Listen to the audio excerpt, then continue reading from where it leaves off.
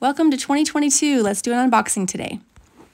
This is the Y Studio My Resolute wooden notepad stand and ballpoint pen. It's called the My Resolute gift set.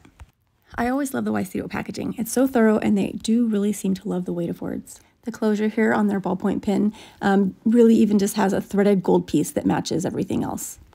This is the ballpoint pen. It's a slim ballpoint pen in forest green. The diameter is just under 0.3 inches and it's almost 5 inches long. The gift set includes a walnut wooden stand. It measures about 4.1 by 7 and a quarter inches. The My Resolute gift set comes with three different kinds of note cards. There's one that says I want, and then at the bottom it says I will. There's one that says I desire, followed by I encounter. And then there's one that says I think, followed by I am. And there's five of each. And of course, these cards are for you to fill out according to um, what you've decided when you think about 2021 and what you want to change and do different and be in 2022. The note cards are printed in black. They have a very clear but nice looking text font and the borders are really simple.